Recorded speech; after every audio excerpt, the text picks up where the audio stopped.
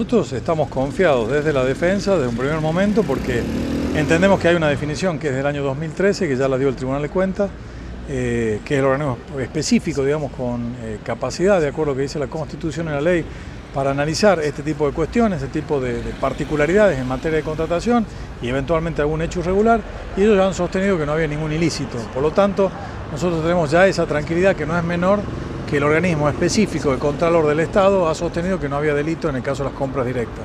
Eh, con respecto a las instancias judiciales, eh, yo le diría que es, mayor la tranquilidad todavía porque hasta ahora las testimoniales que nosotros entendemos se han llevado adelante son todas eh, absolutamente neutras, no tienen ningún aporte sustancial a causa. Es verdad que algunas de ellas hacen mención de algunos hechos que pueden considerarse puntuales, sobre todo porque llevamos más de 20 testimoniales aproximadamente y la verdad que de ahí solamente tres o cuatro personas han dicho que alguna vez alguien le ha utilizado un instrumento, algún documento, digamos. La verdad, ese hecho puntualmente puede ser irregular, pero eso no es responsabilidad ni del ministro ni de las personas que están siendo juzgadas en este momento.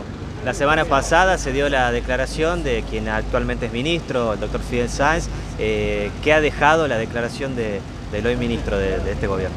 Bueno, para nosotros absolutamente nada, digamos, porque es la típica denuncia política, la formuló cuando era diputado, dice que trabajó con su equipo, su equipo son todos los colaboradores de él, o sea que la denuncia es netamente política. Y además es increíble porque el doctor Sáenz, que es abogado, tendría que conocer un poquito de contrataciones, más siendo en este momento ministro, porque es ministro nada más y nada menos que de un ámbito donde se manejan contrataciones muy significativas y no conoce evidentemente por la denuncia de él y por lo que manifestó ahora en la audiencia lo que es contratación directa y lo que son los límites de la contratación directa, lo cual demuestra que no sabe ni siquiera de contabilidad pública, no conoce de cómo se maneja nuestro sistema de reglamentaciones para contratar, así que la verdad me parece más vergonzosa su condición de funcionario público en decir las cosas que dijo.